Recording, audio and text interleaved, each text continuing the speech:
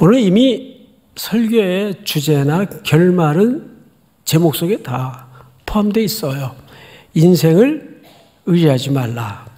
이 제목 속에 모든 게 다 녹아져 있는데 도대체 인생을 의지하지 말라는 말이 무슨 뜻일까?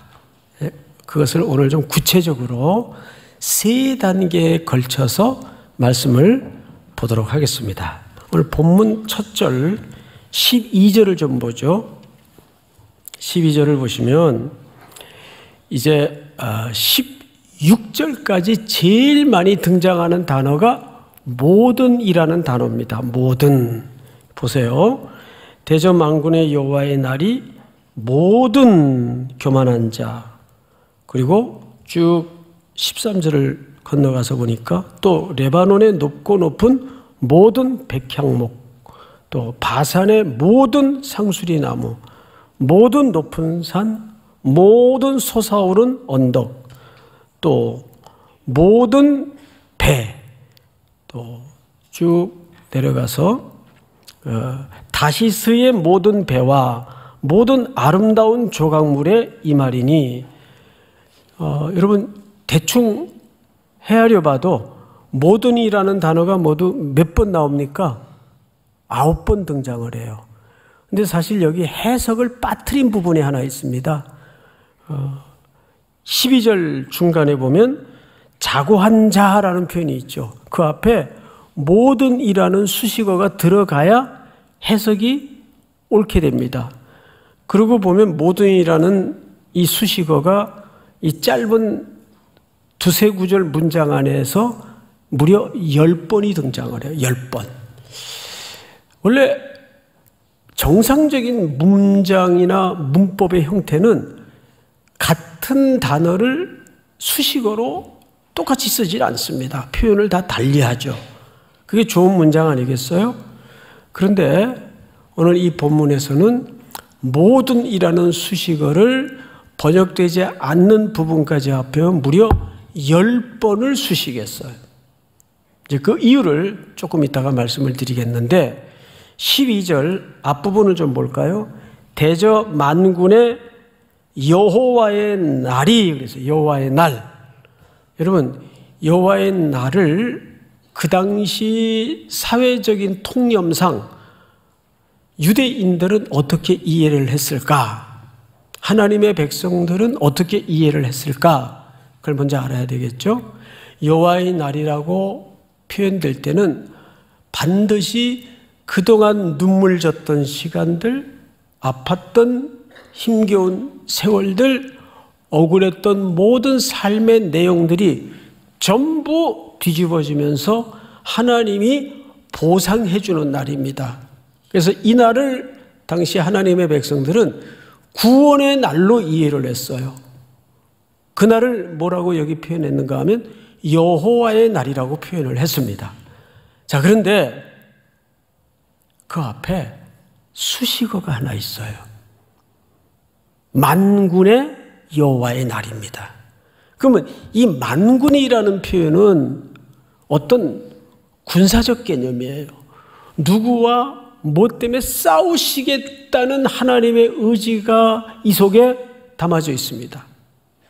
그래서 여호와의 날 하면 이중적으로 해석이 돼요. 하나님의 때를 올곧게 기다려냈던 하나님의 백성들에게는 보상의 날이 되고 구원의 날이 돼요. 그런데 하나님을 무슨 이유든 이유이든 떠나 있었던 사람들에게는 유대인들이라도 그날은 응징의 날이 되고 심판의 날이 됩니다.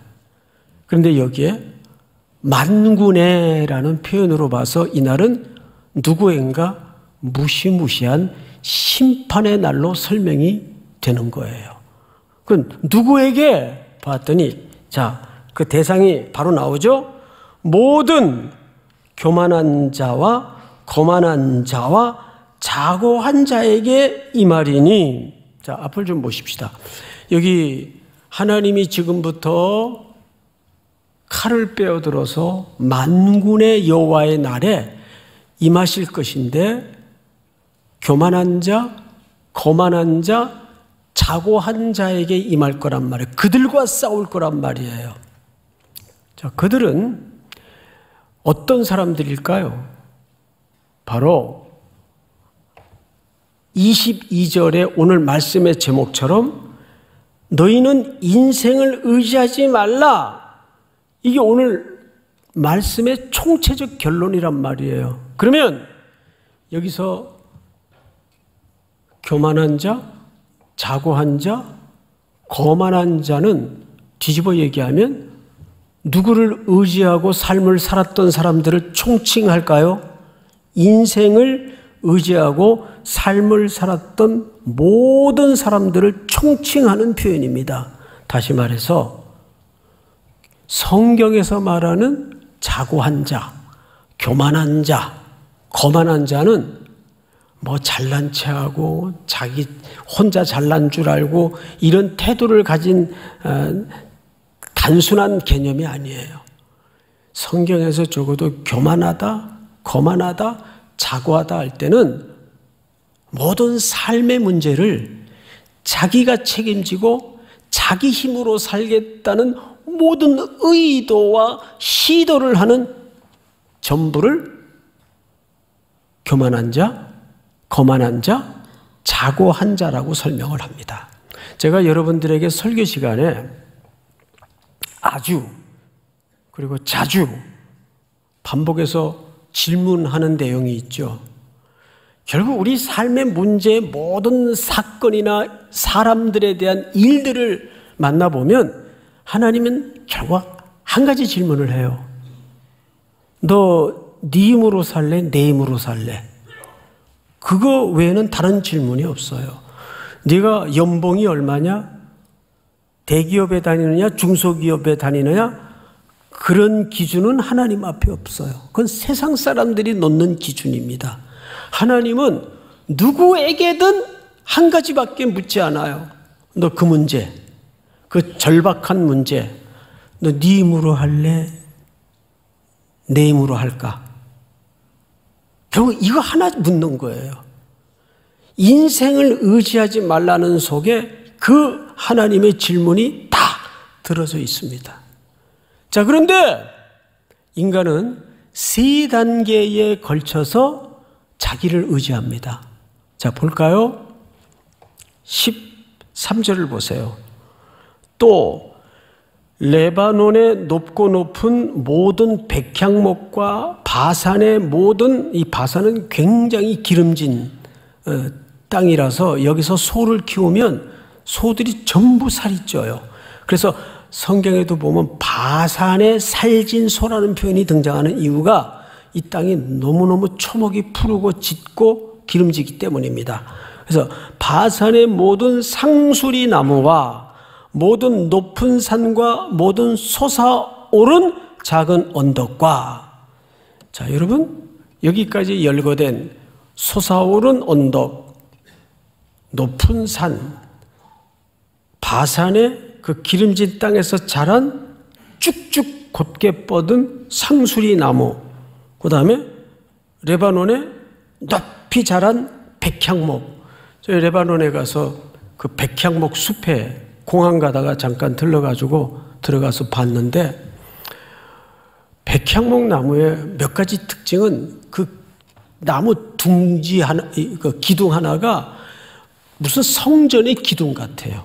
그래서 솔로몬이 성전을 지을 때 그 레바논에서 백향목 나무를 전부 잘라가지고 지중해 바다로 요파 항구까지 실어 날랐죠. 뗏목으로 묶어서. 그 정도로 쭉쭉 곧아요. 그 어, 기상이 하늘을 찌른다 그러죠. 근데 신기한 게 제가 그걸 찍어 왔는데 그 백향목의 열매는 전부 방향이 위로 이렇게 위로 올라가 있습니다. 방향 자체가 하늘을 향해 있어요. 그래서 이 백향, 백향목이라는 나무가 굉장히 그 신비스럽습니다. 근데 그 높이가 어마어마해요. 그 숲에 들어가서 한번 이렇게 정상까지 길을 걸어봤는데요. 그 기상이 대단합니다. 자, 그러면 레바논의 그 높게 높게 자란 높은 백향목, 또 바산에 쭉쭉 뻗은 상수리 나무, 높은 산, 그리고 높은 언덕. 이, 이것은 전부 어, 사람이 만든 겁니까? 하나님이 창조하신 자연물입니까? 자연물이죠. 그런데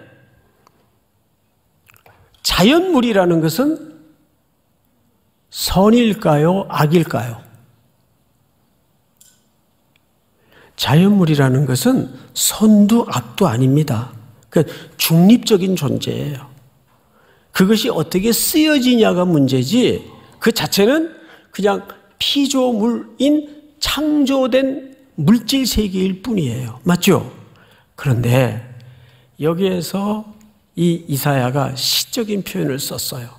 이사야는 이사야서 곳곳에 시적인 표현을 많이 사용했는데 여긴 특별히 이 부분을 문예적으로 읽어야 됩니다. 어떻게? 하나님의 창조된 피조물 가운데 주로 높은 것만 여기 열거했어요. 높은 산, 높은 언덕, 높은 나무, 높은 상수리, 백향목. 그러니까 피조된 창조물이라도 하나님이 문학적으로 뭘 경고한 건가 하면 하나님보다 높은 것은 모든이라는 말을 열 번씩 써가면서 강조하고 싶었던 것이 뭐냐면 어떤 것도 예외일 수 없다. 그 상징적인 메시지예요. 어떤 높은 것도 이 땅에서는 하나님보다 높은 것이어서는 안 돼요. 저 서초, 서초동에 가면 우리나라 그 권위의 상징적인 정부 기관이 하나 있죠. 어디죠? 대법원이에요. 근데 그 대법원이 그 카톨릭 성모병원에서 이렇게 언덕을 조금 올라가면 언덕 위에 대법원 건물이 위용을 자랑하면서 서 있어요. 근데 그 주변에는 어떤 원칙이 있는지 아세요? 저도 뭐 안 지가 얼마 안 되는데 대법원 건물보다 높은 게 있어서는 안 돼요. 건축물을 할 때. 그래서 그 얼마 전에 어느 교회가 설계를 했는데 그 대법원 건물보다 높이 설계를 해가지고 좀 어, 뭐 이야기거리가 되었던 적이 있어요. 하나의 상징적인 거죠. 그렇듯이 하나님이 여기서 레바논의 백향목, 그 높다 그 말이에요. 바산의 상수리 나무, 곧게 뻗은 나무라 그 말이에요. 그 다음에 높은 산, 높은 언덕, 어떤 것도 높이를 자랑하면서 이 땅에 그냥 중립적인 존재인 피조 세계를 통해서 어떤 것도 하나님보다 높아져서는 안 된다는 그림 언어로 그렇게 설명하는 거예요. 성경을 잘 보세요. 15절. 모든 높은 망대와 모든 견고한 성벽과 자, 여러분 망대와 성벽은 하나님이 만든 겁니까? 인간이 만든 겁니까? 인간이 만든 거예요. 첫째는 자연 세계를 통해서 어떤 것도 하나님보다 높아서는 안 된다고 메시지를 던졌고 두 번째는 인간이 만든 구조물들이에요. 건물들이죠. 자, 성벽과 또 뭐라고 되어 있죠? 망대. 성벽과 망대라는 것은 하나의 도시를 이미 성을 쌓아서 형성하고 있다는 뜻이 됩니다. 그러면 이 땅에 인류의 역사 속에 이런 건축물들의 그 시작된 동기가 뭔가를 성경을 통해서 좀 봐야 될 텐데 우리 창세기 4장을 좀 띄워주세요. 제가 좀 읽겠습니다. 아, 가인이 동생을 죽이죠. 살인자가 돼요. 그리고 하나님 앞에서 쫓겨납니다. 쫓겨서 어디로 갔는가 하면 에덴 동쪽 놋 땅에 거주하더니 에덴 동쪽 놋 땅에 거주하더니 아내와 동침하매 그가 임신하여 에녹이라는 아들을 낳습니다. 아들을 낳은지라 가인이 뭐를 쌓았다고 돼 있어요? 성을 쌓았다고 돼 있어요. 자, 왜 성을 쌓았을까? 이걸 여러분들이 좀 이해하셔야 될 텐데, 그리고 그 성 이름을 누구 이름을 붙였어요? 아들 이름을 붙였어요. 애녹성이 됩니다, 이게. 이것은 인간의 본질적 심리를 좀 아셔야 돼요. 성을 쌓기 시작한 시점이 아들을 낳고서부터예요. 자, 아버지로서 인간으로서 당연한 원초적 본능이 뭐냐 하면 후손을 번식하고자 하는 욕구가 인간은 누구나 있어요. 자, 그런데 어느 날 하나님이 에녹이라는 아들을 주셨는데 이 아들을 통해서 후손이 계속 이어지기를 바라고 또 자기의 남은 시간과 자녀들의 안위를 위해서 뭘 쌓기 시작했는가 하면 성을 쌓기 시작했어요. 누구도 이제는 우리 후손과 우리 집안을 함부로 공격하거나 우리 자손의 후계가 끊어지는 것에 대해서 이거는 우리가 책임지자. 우리가 보호를 하자. 그래서 뭘 쌓았다고요? 성을 쌓아요. 남자들도 마찬가지예요. 뭐 남자뿐이겠습니까? 사람은 똑같아요. 자기가 싱글로 있을 때는 별로 삶의 문제와 인생에 대해서 별로 책임이 그렇게 그 감각이 없어요. 그러다가 이제 딴딴따단 결혼을 하고 한 몸을 이루어서 자녀가 턱 생기면 갑자기 우선 남자들은 뭐가 밀려와요? 현실적인 책임감이 밀려와요. 그건 여성들도 더 오히려 어떤 의미에서는 강력한 어, 본능이 일어날 겁니다. 우리 애들을 잘 키워야지.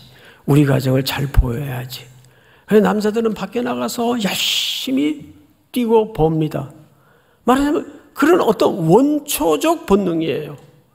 근데 그거를 가인은 뭘 시도했어요? 성을 쌓는 걸로 시도를 했어요. 우리가 이 일을 보하자.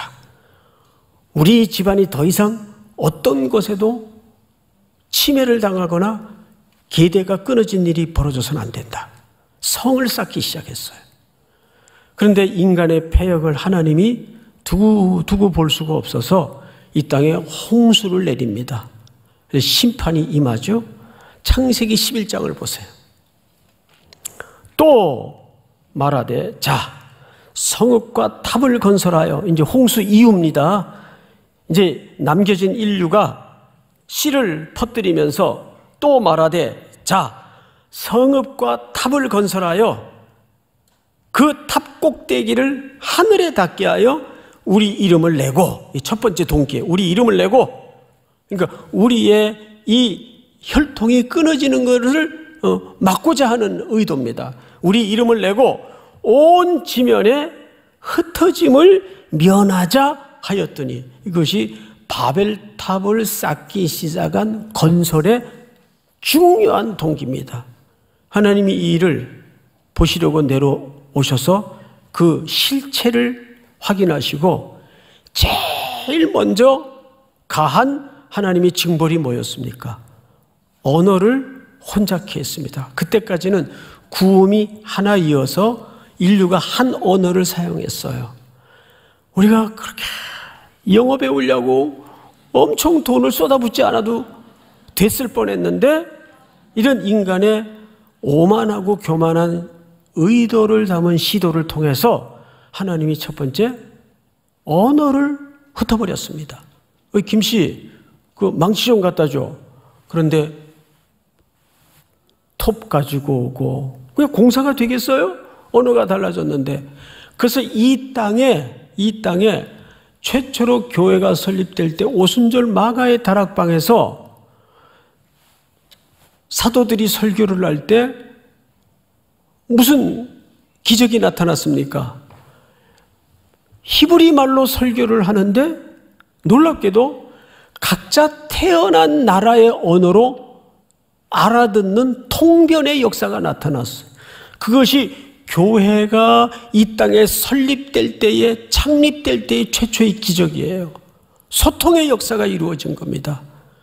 그러니까 이 인류는 하나님의 교회를 통해서 새로운 사회를 만드는 것이 하나님의 궁극적인 목적이라는 것을 놓쳐서는 안 돼요. 그만큼 이 땅에는 교회가 중요합니다. 많은 문제가 있지만 그럼에도 불구하고 이 사회는 이 세상은 하나님이 교회를 통해서 여러분들을 통해 새로운 땅, 새로운 나라를 새로운 세상을 도래하기를 꿈꾸시는 겁니다. 그래서 교회는 하나님의 꿈이에요. 교회는 하나님의 비전입니다. 믿습니까? 자, 여기에서 창세기 11장을 다시 띄워주시면 이렇게 되어 있죠. 여호와께서 사람들이 건설하는 그 성읍과 탑을 보려고 내려오셨더라. 그러니까 우리 오늘 본문을 보면 15절을 다시 보세요. 모든 높은 망대와 모든 견고한 성벽과 이것이 인류가 자기들의 인생을 자기들이 책임져 보겠다는 두 번째 단계에 그들의 인생의 기반이었고 기초였습니다. 이 본질에서 비껴서 있을 인류가 없어요. 누구나 똑같아요. 그럼 세 번째 단계를 보십시다. 자, 몇 절을 보시냐면 16절을 보세요. 다시스의 모든 배. 자, 여러분, 다시스 항구는 최고의 항구입니다. 세계 모든 상선 배들이 일로 다 몰려서 장사를 하고 무역을 합니다. 그래서 사람들이 돈을 벌려면 이 다시스 항구로 배를 끌고 와서 거래를 했어요. 그래서 그 당시에 비싼 옷감, 특별히 금, 은들을 모아서 벌어서 자기들의 남은 시간들에 대해서 든든한 보험으로 돈벌이에 급급했습니다. 그래서 모으고 쌓고 자기들의 인생에 대해서 이것만이 우리 인생을 지켜주리라고 생각을 했어요. 자, 그런데 하나님이 그렇게 자기들의 인생을 자기들이 책임지겠다는 모든 이 3단계의 시도를 어떻게 규정하셨나요? 자, 17절을 보세요. 그날에 여호와의 날이 되겠죠. 그날에 자고한 자는 굴복되며 교만한 자는 낮아지고 여호와께서 홀로 높임을 받으실 것이요 우상들은 여전히 어, 온전히 없어질 것이며 사람들이 암열과 토굴로 들어가서 그렇게 그러한 것들을 의지했던 사람들이 암열 토굴은 가장 낮은 곳으로 땅 지하 아니에요. 가장 낮은 곳으로 던져지게 될 것이다 그 말이에요. 근데 글로 도망가면서도 자기들이 붙들고 의지하고 살았던 우상 단지들 금은들을 가지고 들어가요. 어떤 일이 벌어질까요? 20절. 사람이 자기를 위하여 경배하려고 만들었던 은 우상과 금 우상을 그날에 두더지와 박쥐에게 던지고 암혈과 험악한 바위 틈에 들어가서 여호와께서 땅을 진동시키려고 일어나실 때 그의 위엄과 그 광대하심의 영광을 피하리라. 22절 다 같이 시작. 너희는 인생을 의지하지 말라. 그의 호흡은 코에 있나니 새말 가치가 어디 있느냐. 자, 여러분. 그렇게 3단계에 걸쳐 자기네들이 이것들이 나에게 복을 줄 것이라고 만들고 섬겼던 금은들을 어디까지 끌고 도망을 가냐 하면 여호와의 날에 그 영광을 피하기 위해서 아멸과 톡을까지 끌고 들어가 그 부정한 짐승의 상징인 박쥐들에게 그 우상들을 던져요. 부정한 것을 부정한 것에 던지는 일들이 일어납니다. 그러면서 오늘 본문의 결말이 뭐냐면 22절 잘 보세요. 너희는 인생을 의지하지 말라. 그런데 그 뒤에 하반부 구절을 잘 보십시오. 그의 호흡은, 그 생명은 어디에 있다는 얘기예요? 코에 있다. 자, 앞을 보십시오. 이 말이 어디서 유래된 말인가 하면 창세기 2장 7절을 볼까요? 띄워주세요. 한번 같이 읽읍시다. 시작. 여호와 하나님이 땅의 흙으로 사람을 지으시고 생기를 그 코에 불어넣으시니 사람이 생명이 되니라. 자, 원래 우리를 하나님이 만드실 때 우리의 본질이 뭐예요? 흙덩이예요. 흙덩이, 흙으로 만들었어요. 근데 만들었지만 여전히 흙이에요. 근데 그 코에 하나님의 생기를 후 하고 집어넣자 우리가 하나님의 형상으로 빚어진 사람이 된 거예요. 이게 우리 본질입니다. 그래서 그 영이 떠나가시면 우리는 그냥 흙덩어리에 불과해요. 여러분, 사람 코에 호흡이 딱 떨어지면 금방 색깔이 변하는 거 아시죠? 그냥 바로 흙으로 부스러집니다. 그러니까 인간의 목숨이 얼마나 어, 간단하냐면 대단하기도 하지만 간단하기도 해요. 하고 숨을 들이마셨다가 후 하고 내뿜어야 살아요. 들어마셨다가 내뿜지 못하면 그걸 돌아가셨습니다라고 얘기를 하는 거예요. 그 돌아가신 거예요. 그 그걸로 존재가 끝나는 거예요. 이 땅에서는. 저는 수많은 죽음을 마주하면서 이 냉엄한 현실을 많이 경험했어요. 사람이 참 간단해요. 그래서 저도 이제 토요일 같은 때는 설교 준비 늦게 하고 목양실에 딸린 방에서 잠깐 눈을 붙이거든요. 그 잘 때 가끔 무슨 생각을 하냐 하면 어쩌면 이 잠듦이 마지막 시간일 수도 있다. 그렇습니까? 안 그렇습니까? 주일날 예배 드리러 왔더니 목사님이 재수없는 소리 한다. 그런 의미, 이 현실을 얘기하는 거예요. 현실을. 예? 그럴 수 있잖아요. 그래서 이제 잠이 들어요. 그러면 여러분, 꼭 제 경우를 굳이 빌리지 않더라도 옆에 잠든 사람 한번 보세요. 메롱 해도 몰라요. 예? 그건 뭐죠? 죽은 거긴 죽은 거. 앞에서 별 장난을 해도 몰라요. 죽은 거이 죽은 거. 그런데 아침에 하나님이 눈을 뜨게 해요. 그러면 하, 오늘도 하나님이 내게 새 생명을 주셨구나. 그러면 그런 그런 영적인 깨달음이 막 밀려오는 순간에 이부자리에서 일어나기 싫어가지고 꾸물럭거려요? 있을 수가 없는 일이에요, 그거는. 예? 그래서 저는 지금까지 한 번도 아침에 눈을 뜨면, 어, 이렇게 비비 꼬고 틀면서 일어난 적이 없어요. 벌떡 일어나요, 벌떡. 깜짝 놀래가지고, 아유, 하나님께서 오늘도 내게 새날 주셨구나. 놀랄 일 아니에요? 에? 깜짝 놀랄 일이지. 얼른 일어나야지. 얼른. 어디 이불 속에서 꾸물럭거려요. 에? 내일부터 한번 생각해 보세요. 우리 삶에서 매일 반복되어 일어나는 이 사이클 가운데 영적으로 깊이 묵상을 해보면 신묘막측한 하나님의 메시지가 많습니다.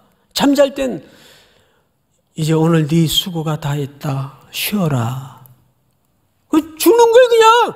예? 잠들면 죽는 거예요, 그냥. 근데 또 아침에 하나님이 생명을 주셔서 눈을 뜨게 하고 내가 코에 호흡이 아직 있구나. 그런데 꾸물럭거려요? 벌떡 일어나야지, 벌떡 일어나야지. 그래서 돌아다니면서 놀더라도 그날이 얼마나 내 인생에 환희스러운 날입니까? 그래서 오늘 성경 기자가 뭐라 그래요? 호흡은 코에 있나니 새말 가치가 어디 있느냐? 그 새말 가치가 어디 있냐라는 질문은 뭐예요? 네 생명이 누구 손에 있냐 그 뜻이에요. 누구 손에 있어요? 하나님 손에 있어요. 그런데 우리가 자기를 믿고 자기가 벌어놓은 거 믿고 자기 그 직장을 믿고 이상하게 우리 기독교인들마저 이 인생에 대한 인간에 대한 이해와 가치가 너무 속상해요. 직장 없는 사람, 연봉 적은 사람 이런 사람들은 그냥 사회에 loser 취급당하는 이런 풍토에 크리스찬들이 똑같이 쫓아다녀요. 가끔 가다가 무슨 결혼정보회사 광고가 툭툭툭 자꾸 올라와요. 그래서 이게 뭐, 뭐 내용이 뭔가 하고 제가 열어봤어요. 그래서 그 질문을 따라서 한 번씩 다 해봤어요. 어? 아, 내가 무슨 딴 마음이 있어서 한 게 아니에요. 에? 예? 그랬더니 거기 무슨 한우 등급처럼 뭐 등급이 매겨지더라고 그 끝에. 근데 그 등급의 모든 100%의 기초와 기준이 이 땅의 물량적인 기초예요. 어떻게 사람의 평가를 연봉에 따라서 사람을 평가하냔 말이에요. 예? 못나면 못난 대로 약하면 약한 대로 그 존재 자체가 누구의 형상대로 지음받은 거예요? 하나님의 형상대로 지음받은 존귀한 인간인데 우리가 그 감각을 기독교인으로서 잃어버리면 안 돼요. 그래서 사람을 대할 때는 정중하게 대해야 돼요. 그게 여러분 그리스도인의 품격입니다. 예? 권위보다 고, 권위도 못 덤비는 게 뭔지 아세요? 어떤 사람은 세상에 막 뭐 쥐락펴락할 수 있는 권위를 갖고 있어요. 그래도 그 권위 가진 사람들이 함부로 못하는 게 품격을 갖춘 사람들을 함부로 못해요. 우리 그리스도인에게 그런 품격이 있어야 됩니다. 믿습니까? 그 배 타는 사람들 있죠? 또 해군들 있지 않습니까? 그분들이 이제 바다에 나가면 보통 짧아야 3개월, 길게는 6개월, 1년씩 있어요. 배에서. 그러면 이렇게 그 거친 바다를 항해하다 보면 반드시 피할 수 없이 만나는 게 뭐죠? 풍랑을 만나요. 막 정말 이 파도가 치면 배가 이렇게 그냥 배가 이렇게 서요. 파도 끝에. 이런 배 타봤어요? 안 타봤으면 말을 하지 마세요. 예? 저는 그런 배를 타보고 죽는 줄 알았어요, 한 번. 어쨌든 그렇게 막 배가 그 어마어마한 군함 같은 것들이 그냥 어, 바다에 떠다니는 낙엽 마냥 그냥 막 이리저리 휩쓸릴 때 안에 모든 쇳덩어리들이 막 다 왔다 갔다 해요. 그러면 서랍 다 쏟아지죠. 막 배 안은 엉망이 되는 거예요. 그때 수병들이 해군들이 선원들이 할 수 있는 게 뭔지 아세요? 모르죠? 아무것도 없다는 거예요. 그 배 탄 사람들의 얘기예요. 그때 할 수 있는 게 아무것도 없대요. 딱 하나. 파도가 잠잠해지기를 기다리는 거. 그거 외엔 할 게 없대요. 제가 그, 그 간증인지 뭔지 어디 그 영상을 보고는 그때 우리 그리스도인들은 우리의 그 닻을, 인생의 삶의 닻을 어디에 놔야 될까요? 예수 그리스도. 십자가의 사랑에 그 닻을 걸어야 돼요. 거기에 닷만 걸면, 믿음의 닻을 딱 걸면 세상에 어떤 풍랑이 내 인생을 뒤흔들고 곤두박질 시킬 것 같은 위경을 만나더라도 아무것도 염려하지 말라. 믿습니까? 아무것도 염려할 필요가 없어요. 그래서 성경에서 아무것도 염려하지 말라는 말이 365번 나와요. 그 약속이 매일매일 우리 속에 되새겨져야 된다는 메시지겠죠. 그때 우리가 할 수 있는 일은 주님을 의지하는 일이에요. 여기 인생을 의지하지 말라는 부정적인 결어로 오늘 본문이 잡혔지만 결국 뒤집어 얘기하면 누구만 의지할 수밖에 없다는 거죠? 하나님만 그리스도의 십자가의 사랑만 우리가 의지할 수밖에 없다는 겁니다. 오늘 이 사보 예배에도 우리 청년들이 각가지 사연과 사정을 가지고 이 자리에 와서 어떤 청년은 막막한 마음으로 이거 어떻게 해야 되나. 이 일이 언제까지 이어질 건가. 정말 처절한 마음으로 완전 분들이 계실 거예요. 아무것도 염려하지 마십시오. 오직 모든 일에 기도와 강구로 너희 구할 것을 감사함으로 하나님께 아뢰라. 왜 감사함으로 아뢰까요? 그것을 선으로 내 인생에 결말을 주실 그 하나님을 믿기 때문에 믿습니까? 감사함으로 하나님께 아뢰라. 그리하면 모든 지각에 뛰어난 하나님의 평강이 그리스도 예수 안에서 너희 마음과 생각을 지키시리라. 이 약속이 여러분들의 사는 날 동안 또 한 주에도 계속해서 견고한 믿음의 닻이 될 수 있기를 주의 이름으로 축원하고 축복합니다.